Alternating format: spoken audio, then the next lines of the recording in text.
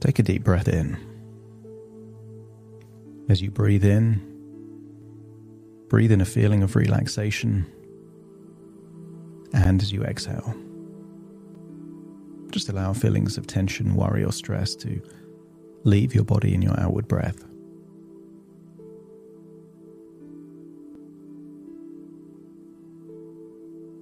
As you breathe in and breathe out, allow feelings of tension to leave your body. Allow your breathing to slow down, giving yourself permission to let go, enabling you to just be at one with your breath. Notice the sensation of the air going in through your nostrils, down your windpipe, filling your lungs, and noticing does it make your chest rise? Is it your diaphragm that moves? Does it raise your shoulders? Scan your body for any feelings of tension, particularly around the eyes or the jaw, the neck and the shoulders. And accept that as you breathe in, you're breathing in a resourceful feeling of relaxation.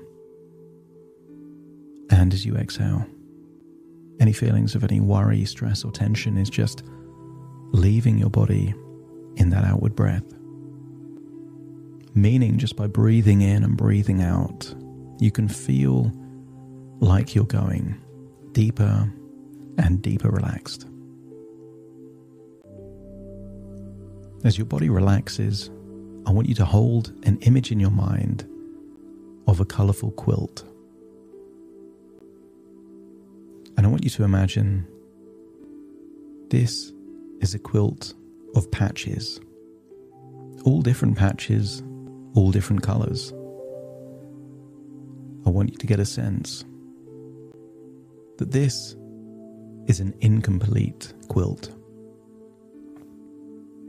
And you have a desire to sew together the missing patches. It doesn't look right in its current form, and therefore you have a desire to repair any damage to the stitching, to replace worn patches with new patches, and to choose the right colors and shapes to complete this quilt.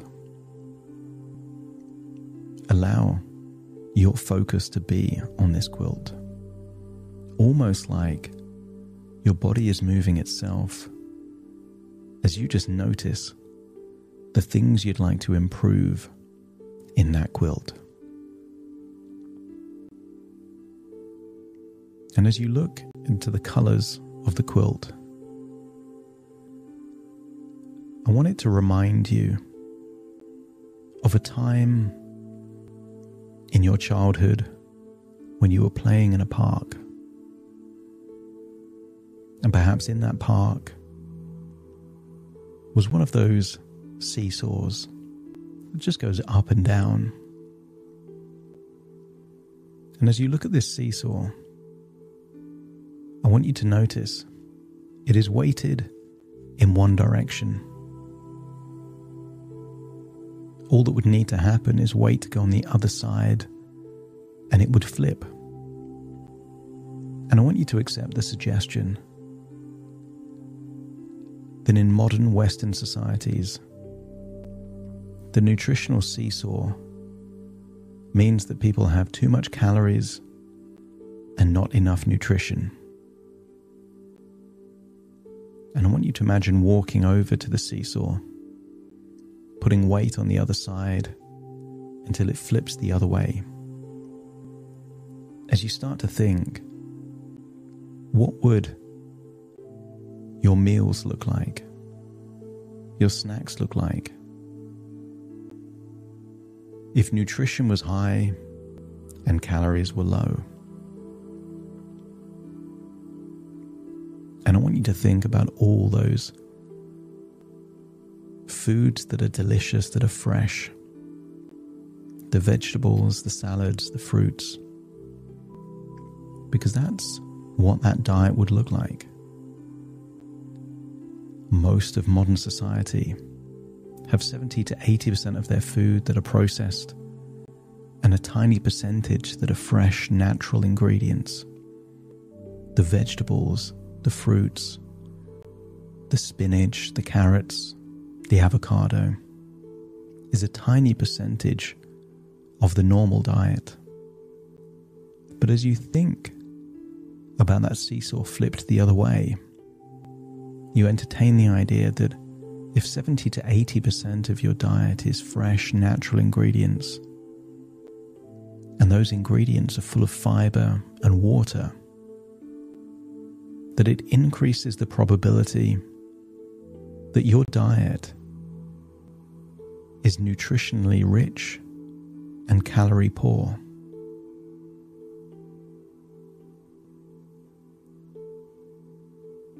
There's a powerful saying that when you know better, you do better. And I want you to imagine that you're in a classroom or studying in a library where you're learning about nutrition.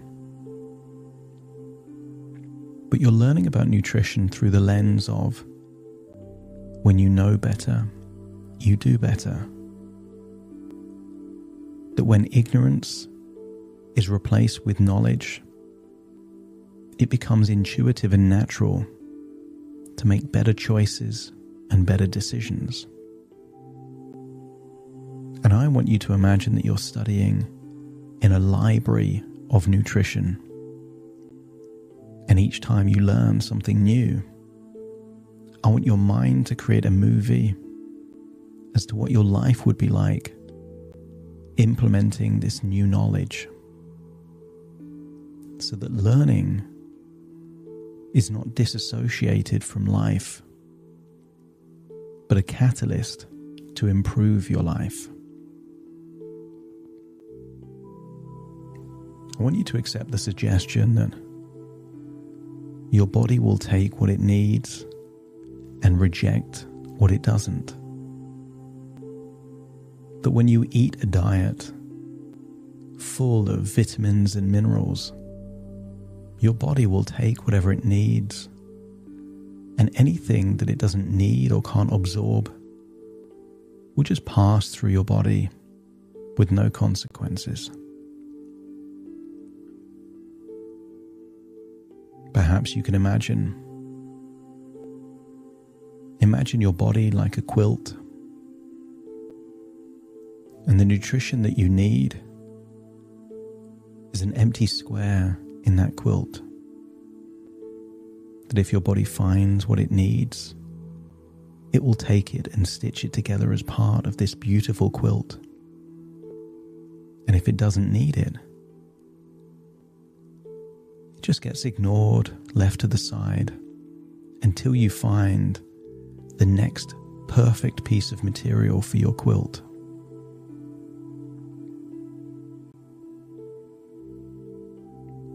I want you to imagine seeing yourself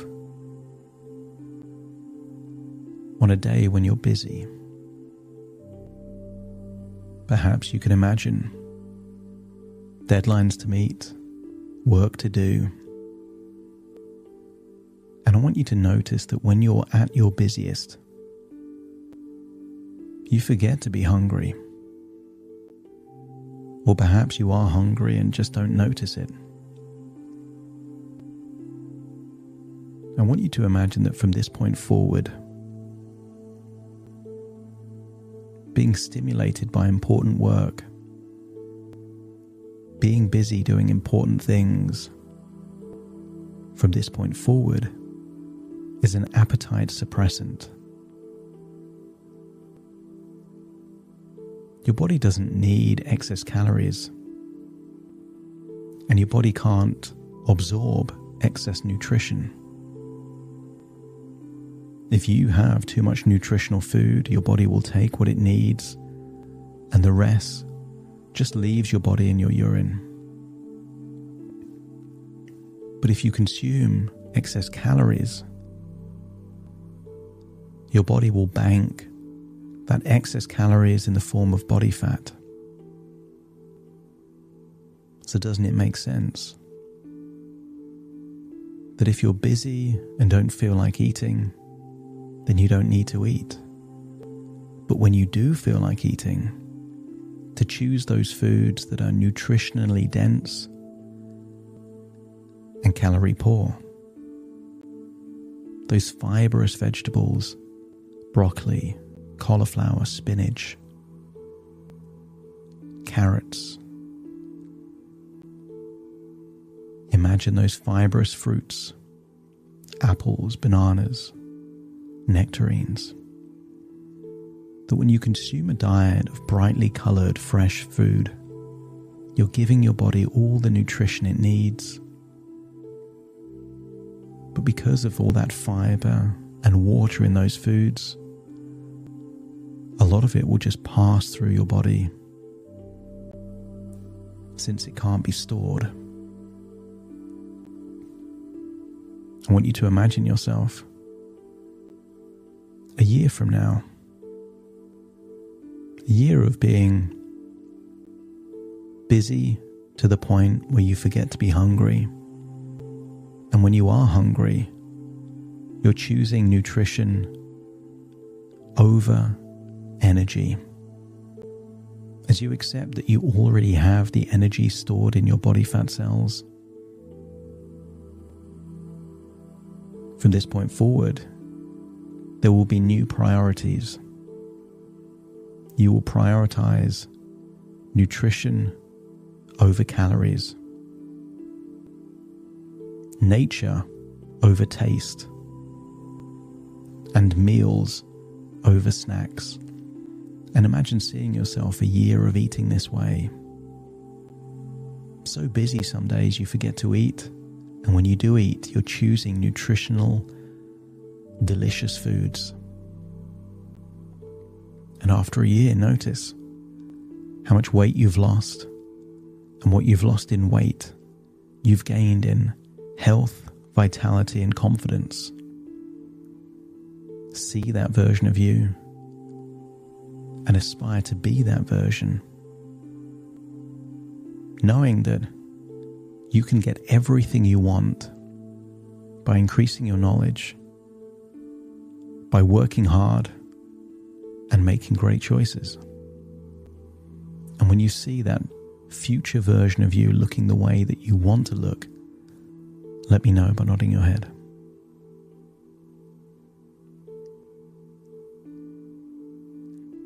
That's right.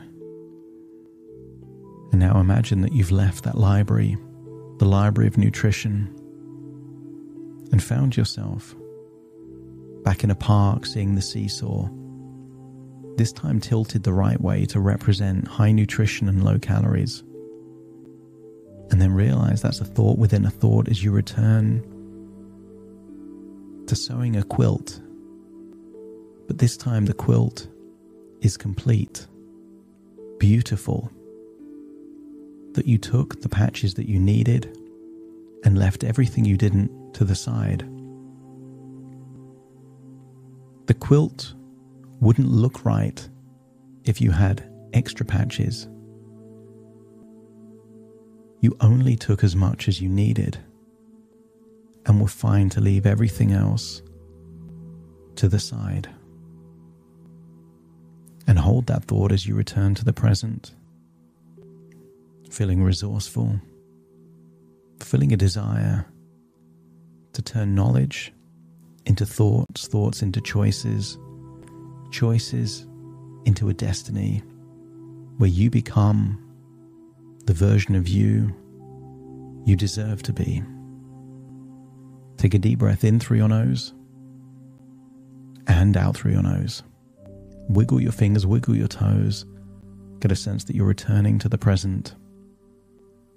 As I now count from 1 to 10 to awaken you. Starting to count 1, 2, 3, waking up. 456, more alert. 7, 8, open your eyes, open your eyes. 9, 10, wide awake, wide awake, wide awake.